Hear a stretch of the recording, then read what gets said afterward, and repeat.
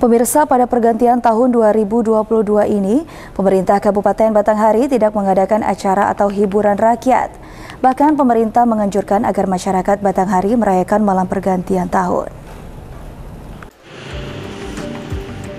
Pemerintah Kabupaten Batanghari melalui Dinas Kominfo Amir Hamzah menegaskan bahwa pemerintah Batanghari tidak mengadakan acara hiburan rakyat di malam pergantian tahun 2022 ini. Bahkan pemerintah menyarankan di malam tersebut bagi umat muslim untuk lebih memperbanyak zikir dan mengingat Tuhan, serta menyarankan agar merayakan malam pergantian tahun dengan keluarga di rumah tanpa bepergian keluar. Dijelaskan Amir, di malam tersebut biasanya identik dengan kaula muda yang mengendarai kendaraan dengan konvoi di jalan lintas Muara Bulian. Untuk itu, Pemkap berharap agar pemerintah kepolisian yang bekerja sama dengan Dishub dan Satpol PP Batanghari dapat mencegah terjadinya konvoi di jalanan di saat malam tahun baru.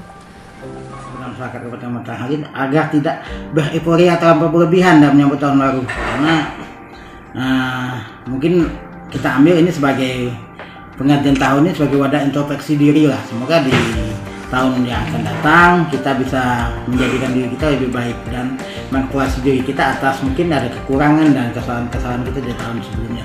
Ya, himbauan kami sebaiknya di rumah saja bersama keluarga, gunakan momen tahun baru ini untuk berkumpul bersama keluarga. Mungkin pihak-pihak terkait seperti kepolisian dan pihak nah, dinas perhubungan sudah mengantisipasi itu semua.